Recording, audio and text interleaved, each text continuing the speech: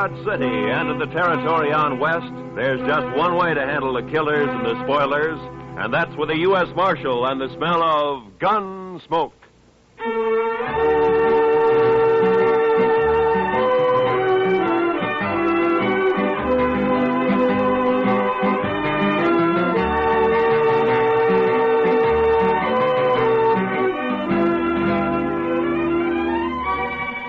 Gunsmoke, starring William Conrad, the transcribed story of the violence that moved west with young America, the story of a man who moved with it.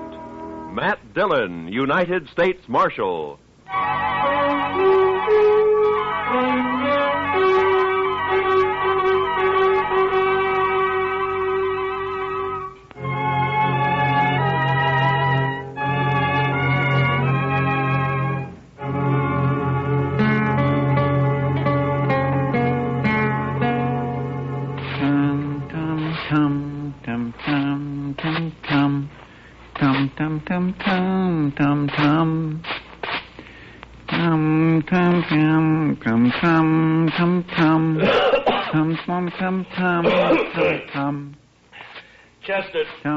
Have to do that? You're just stirring up a lot of dust.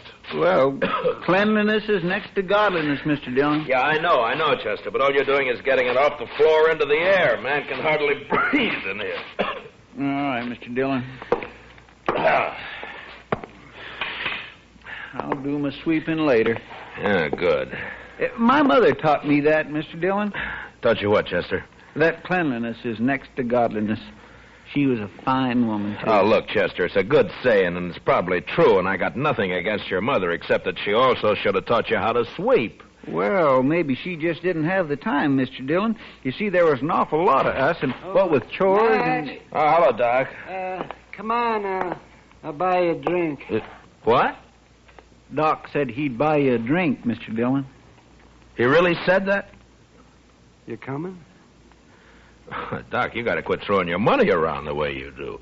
Uh, maybe you don't need it. drink. Uh, no, wait a minute, Doc. I, I'm with you. uh, I'll tell you all about it when I get back, Chester. I'd be mighty interested, Mr. Dillon.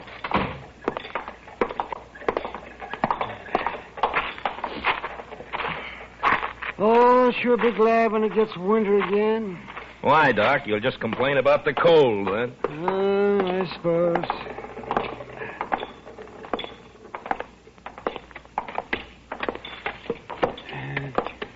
You go sit with Kitty, Matt. I'll bring a bottle. Okay, Doc.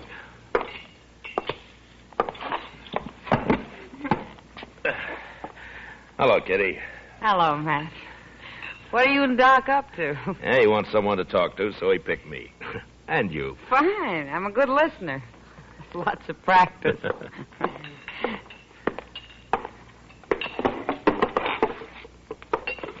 Ah, ah, I see. What are we celebrating? Uh, let's see here. Let's see here. We'll drink to a fellow that you don't know. Uh-huh. Kane Vestal. Well, here's to him. Yeah? Here's to him. yes, he'll be dead in a couple of months. What? That's what I told him. What do you mean, Doc? Well, I'm not the only one who's told him that. I'm just the last. Well, who is this Kane Vestal, Doc? Oh, he's just a fella. Came in on the train last night, leaving for Arizona to die in Arizona. He's a musician. He plays the guitar, he tells me. Well, how's he gonna die? Consumption. He's got it bad. I'm the last doctor who's going to ask about it, he says. Oh, Poor fella. Yes, climate out there, keep him going for a little while longer. And, uh, oh, I don't know. He's, he's such a sad man for some reason. Well, who wouldn't be, Doc? No, no, no, no, Kitty. I think Kane's been sad for a long, long time. He's a very nice fellow, too. Nothing can help him, huh? No, nothing. You know, it's a funny thing, Doc. I'm just sitting here thinking. Sometimes you have to tell men they're gonna die. Sometimes I have to. Yeah, that's right. man. Oh, see. Uh, uh, there is. See that fellow with the car there? He just came in. No. Yeah. Yeah, I don't think he knows anyone around here. You mind if I ask him over? Well, sure. your party, Doc. Oh, good. Uh, uh, Kane? Uh, Kane? Uh, over here? Ah. Ah, ah, sit down. Sit down. Kane, this is Kitty. Hello, Kane. Kitty. this is Marshal Dillon. Hello, Marshal. Pleasure to meet you. He's doing it, yeah. Sit down. There we are. Have a drink. Well, thank you, Doc. Uh, this your first trip west, Kane? Yes, Marshal, it is. Oh, where are you from? No place in particular, Miss Kitty. I seem to spend most of my life on the Mississippi River. I, I thought you were a musician. I am. I was hired to ride the river boats and play my guitar for the passengers. Oh, well, at least you've had a constant change of scenery. After 20 years of going up and down that river, it got pretty familiar, Marshal. Well, Kane, I knew a young fellow back in St. Louis before the war, and he was learning to be a river pilot. Say, I wonder if you ever ran into him. Name of Clemens, Sam Clemens? No, Doc, I don't believe I did. Oh, he was a very amusing fellow. He was just chock full of stories. um, you leaving Dodge tomorrow, Kane? I'm headed for Arizona, Miss Kitty. No reflection on Dodge, though. uh, if you hit a place out there called Tombstone, I uh, wish you'd look up Virgil Earp for me. Uh, tell him I sent you, huh? Thanks, Marshal. I'll do that. Say, Kane, I wonder, uh, could I ask you a favor? Why, certainly, Miss Kitty. Anything at all. Or would you play something for us? I had an idea that's what it'd be. Anything in particular? Oh, play something you like, Kane. Another girl I knew used to like this one.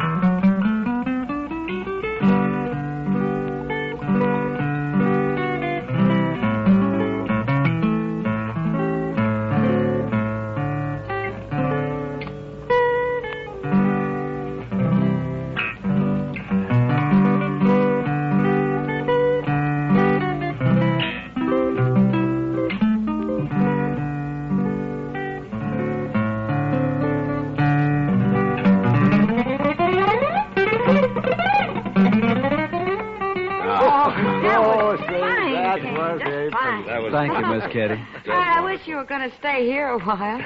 Maybe you could teach me to play like that, huh? It'd be a pleasure, Miss Kitty. But I'm afraid I won't be around for long.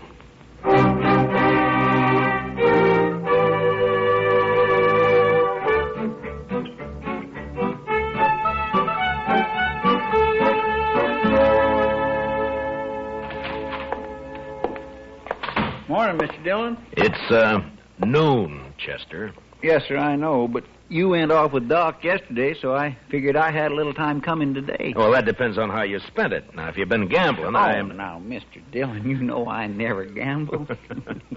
no, sir. I, I, I was out helping a fellow learn to shoot a six gun, that's all. Now, you mean there's a man in Dodge who doesn't know how? This fellow don't. Never had one in his hand before. He's a musician. What? Uh, plays the guitar, he told me. You mean Kane? Uh, Kane Vestal? Yes, sir, that's his name. Nice a fellow as you'd ever want to meet. Yeah. But he was supposed to leave on the stage this morning. And what's he done with his six gun anyway? Well, I don't know, Mr. Dillon. He just come by here early this morning and asked me if I'd teach him. Now, where'd he get the gun? Said he'd just bought it. Anything wrong, Mr. Dillon? No, no. It just doesn't add up somehow. That's all. Oh, well, he won't cause any trouble. He's not the sort. You never know, Chester. Mm, no, sir. My kitty looks pretty this morning. She's got a yellow parasol, Mr. Dillon. Kitty. I I think I'll go see her for a minute. Uh, I'll be right back, Chester. Yes, sir, Mr. Dillon.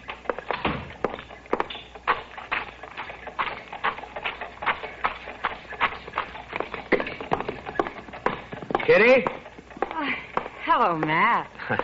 Kitty, I'd like to talk to you for a Oh, minute. sure. What is it? Uh, I- I'm curious about something, Kitty. Maybe you can help me. Maybe. How long was Kane Vestal with you yesterday? Kane. Oh, well, he didn't leave till evening. Why? Well, he didn't go out on the stage this morning, and he's bought himself a six gun. You, you any idea why? A Gun. Huh?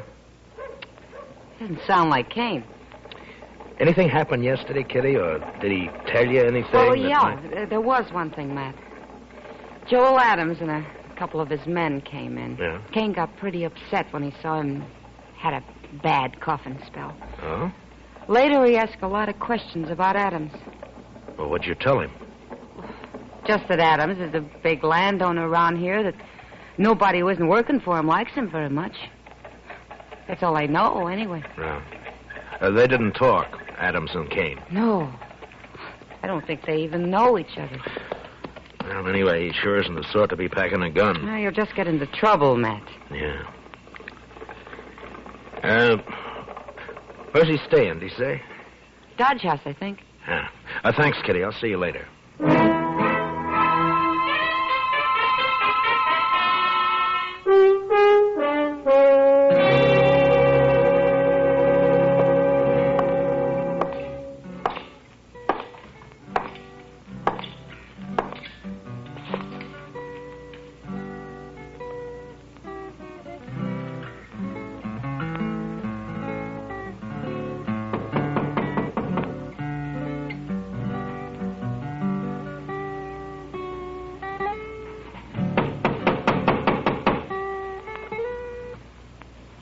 Come in. Hello, Kane. Why, Marshal Dillon. Come in, come in. Ah, thank you. What can I do for you, Marshal? I, uh, I thought you were leaving Dodge on the stage this morning.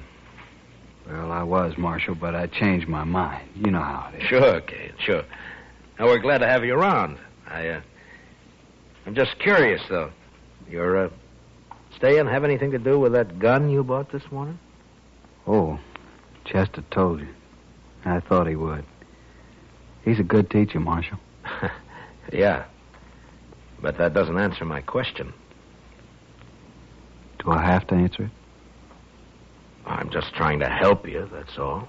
Yeah, I, I appreciate that, Marshal, but I'm afraid there's nothing you can do. Look, Kane, you're new in this country.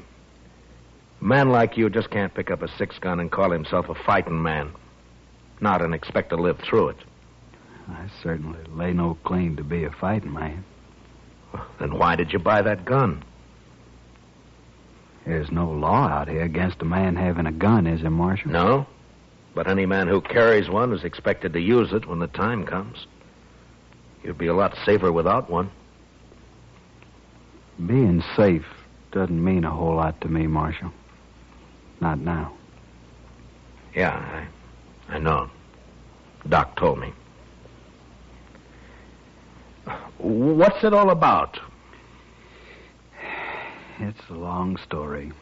And an old one, I suppose. I'd really rather not talk about it. Well, I can't force you to. Uh, But but tell me this: Does it have anything to do with Joel Adams?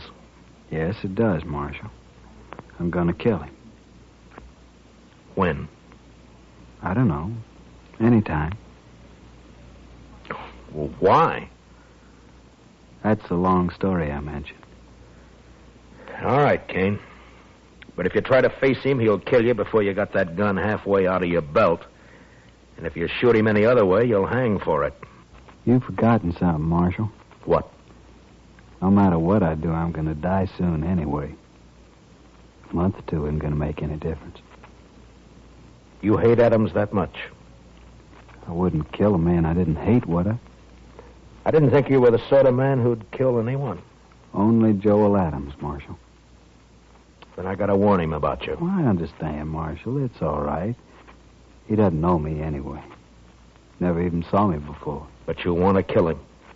Yes, sir. Well, I'll take your gun away from you, but you'll just find another one. And I can't arrest you unless I catch you trying to bushwhack him. I'm sorry for the trouble I'm causing you, Marshal. You know, I've never had to deal with a man like you before, Kane. Maybe I ought to just tie you up and throw you on that stage. You could. But I'd just come right back. yeah, I guess you would. I'm sorry this has to happen here in Dodge, Marshal. Then why don't you leave? I guess I hate Joel Adams too much. All right, Kane. I'm through trying to convince you.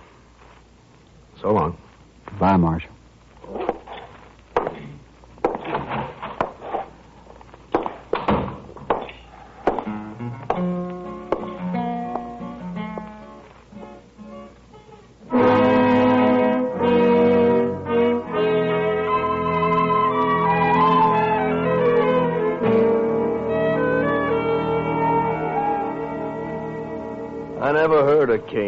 Kane Marshal, and I never saw him before last night. You must have known him somewhere, Adams. You're trying to make me out a liar, Marshal. I'm trying to save Kane's life and yours, maybe. No, he ain't gonna shoot me. I'll kill him first time he looks sideways. Maybe you won't see him. Oh, shoot me in the back, eh? Well, in that case, it... In that case, what? why, nothing, Dillon, nothing. Forget it. If Kane's shot in the back, you'll be the first man I take in, Adams. I don't even know him. Why should I shoot him? I'm only warning you. Well, just leave me be, Marshal. I can take care of myself. See that you do, Adams, and only yourself. Why, sure, Marshal. Only I don't much like the idea of some stranger gunning for me. Makes me sort of uneasy. There must be some reason for it. Don't start it again, Marshal. Ain't no reason. I know you've led a blameless life. You never hurt anyone. Did told you twice. There are now. men around here who'd shoot you on sight if they thought they could get by with it. I don't think you were ever any good, Adams, so don't tell me Kane's got no reason. I don't You're believe it. pushing me now, Mark. I'm tired of your talk, that's all. Maybe it's true you don't know him, but he sure knows something about you. Well, then I wish you didn't. That's all I got to say. Well, just keep out of his way. Give it a little time, and maybe there won't be any killing at all. Why, sure, sure. All the time in the world. All right, Adams. I've done all I can. Just don't worry about me. I'm not. Then goodbye, Marshal. Goodbye.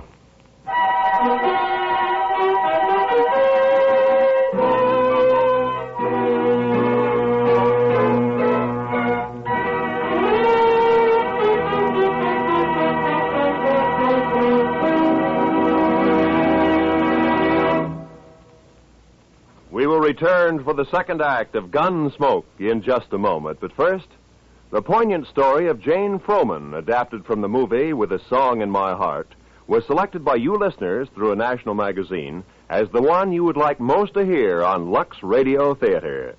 So this Monday night, listen for Susan Hayward, Rory Calhoun, David Wayne, Thelma Ritter, and Bob Wagner of the movie cast when CBS Radio presents Lux Radio Theater. Now, the second act of Gunsmoke.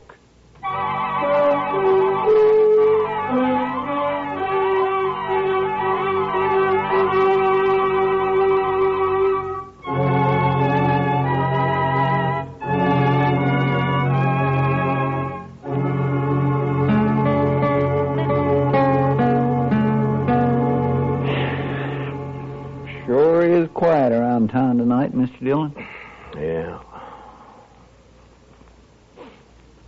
There's a trail herd due in a couple of days. I suppose business will pick up then. Hmm. You'd think those cowboys be too tuckered out after a ride like that to have any juice left in them at all, Mr. Dillon. Yeah, they're too poor to cut loose any other time. well, that don't stop 'em down in Texas, Mr. Dillon. No? No. It's just like an uncle of mine back in Waco.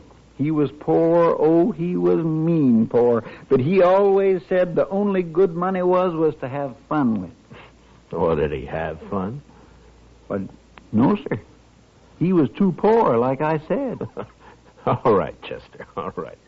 All I ask is that you don't try to explain it to me. Well, but there's nothing to explain, Mr. Dillon. It, it's just Uh, it's just that he was the Chester. one poorest Chester. man you'd ever. Uh, Marshal, say, you want to talk to Kane Vestal? What? Uh, Kane is upstairs in my office. He been shot? No, no, not shot. Beat up. Well, how is he, Doc? Well, it's not too bad. A couple of cowboys found him just outside of town. They heard a shot and said two men rode off before they could stop them. Yeah? And I guess who, whoever it was, they didn't have time to finish the job. They just got started working on him. So Adams made the first move, huh? Um, I'll be back soon, Chester. Yes, sir, Mr. Dillon. They hit him on the head with a gun butt, scratched him up some. Outside of that, he's fine. That's still assault, even if they didn't kill him, Doc. Yeah, I suppose it is. Anyway, they took a shot at him when they heard those riders coming along. Went right through his coat. Yeah. They probably think he's dead. So that's where you went, Doc. I might have known. Didn't even give you a chance to use that gun, did he, Kane? I didn't have a gun on me, Marshal, but it wasn't he. It was they. Huh? Do you recognize them? Well, I don't know many people around here. You know Joel Adams, or so you told me. It wasn't Adam. Could you pick him out if you saw him again? No, Mar- Marshal, I don't believe I could. Where were you when they grabbed you, Kane? End of Front Street. I was taking a walk after supper. They rode up behind me, one on each side, lifted me up, and Mhm. carried me out of town a ways. You must have got a good look at him, at least when they got off their horses. It was too dark, Marshal. Yeah. Doc, how long's he been here? Oh, about half an hour, Marshal. Why? Those cowboys who saw you, Kane, they brought you right in here, didn't they? Yes. So it was maybe an hour ago when those two men hauled you out of town? It was plenty light enough then. Was it, Marshal? You're going to fight it yourself, aren't you? Yes, Marshal. It, it's my affair. It was, Kane, but you've been assaulted and shot at, so it's the law's business now. I won't prefer any charges, Marshal. You don't have to. I've seen you, and I know who did it, or who hired it done, as well as you Now, do. Please, Marshal. I got to handle this my own way. There's a law that says you can't murder a man, Kane, and the same law says he can't murder you. Are you so full of hate you can't get that through your head? Guess that's it, Marshal. All right, Kane. You do what you have to do. So will. I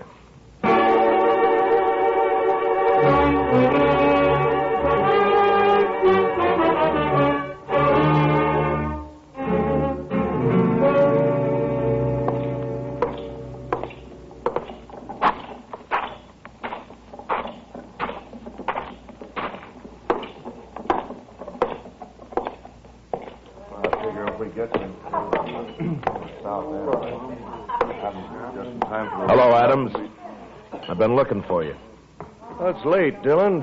Can't you see me tomorrow? It's not even midnight. That's early for you. You see how this marshal's always trying to get me on the prod, boys? That's right. These boys of yours play pretty rough themselves, Adams. Meaning? Didn't they tell you Tell me what? what they did to Kane Vestal? They did not kill Kane Vestal, and you can't prove it. No, Adams, I can't. Kane isn't even dead. What? You know, I'm curious, Adams. Why'd you think he might be? Why, why, somebody said he got himself hurt. Joel Adams. You arranged this, Marshal. You know I didn't. Who is he? What does he want? Hello, Joel Adams. Don't strain yourself so you don't know me. Who are you? Kane Vestal. But my name doesn't matter. What are you haunting me for? I never saw you before in my life. That's true. You didn't. But we had a friend in common once. A friend? Who? Julie Travis. What about Julie? You were a riverboat gambler then, Adams, and you had money and fine clothes and a way with women, especially young girls. Julie was only 16 at the time. Never mind all that. So she went away with you to be married, you told her. Oh. I think I guessed the rest. You wanted to marry her, but I got her instead. Is that it? That's it, Adam. That's exactly it. Oh, no, I thought you really had something on your mind, Vestal. Well, all right, why don't you get out of here and quit bothering people while you can still walk? Julie killed herself, Adam. She committed suicide. What? You didn't know that, did you? Well, it's got nothing to do with me. Because you never married her after all. It was just a year after you abandoned her in New Orleans. I think it has a lot to do with you, Joel Adams. What are your plans, mister? I see you got a gun in your belt. Gonna kill you. Or so? When? Now. Right now. All right, Vestal, draw. Leave the gun where it is, Kane. One thing I always promised myself, Adams. Someday I'd spit in your face. Why, you.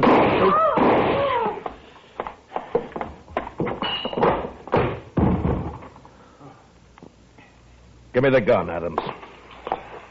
There.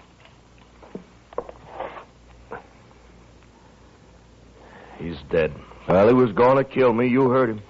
He wanted you dead, Adams, any way he could manage. I know it. That's what I say. You're under arrest for murder. For... What? It was a gunfight. Kane never even moved for his gun. Well, then I'll hang for this. He couldn't have got me any other way. No, don't suppose he could have. I remember the river gamblers used to say, don't matter how you win so long as you win. That Kane should have been a gambler. Maybe he was. Come on, let's go.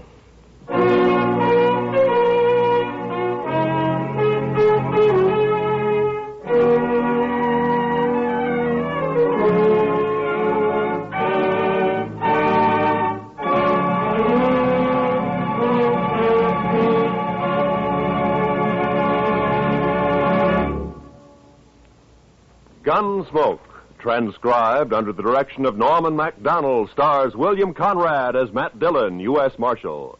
Tonight's story was specially written for Gunsmoke by John Meston, with music composed and conducted by Rex Koury. Featured in the cast were Harry Bartell and Lawrence Dobkin. Parley Baer is Chester, Howard McNear is Doc, and Georgia Ellis is Kitty. And now for a special announcement. There have been many requests for information regarding our theme. It's called Old Trail and was written especially for us by Rex Koury, our musical director. If you will write to Gunsmoke in care of your local CBS radio station, we will try to give you whatever specific information you may desire. Gunsmoke is heard by our troops overseas through the facilities of the Armed Forces Radio Service. Join us again next week as Matt Dillon, U.S. Marshal, fights to bring law and order out of the wild violence of the West in Gunsmoke.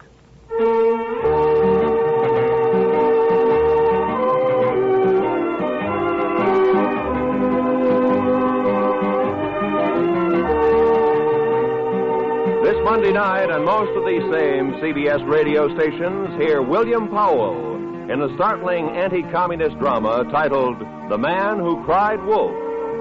Remember to hear Suspense, starring William Powell, on most of these same CBS radio stations this Monday night. This is Roy Rowan speaking. America now listens to 105 million radio sets and listens most to the CBS Radio Network.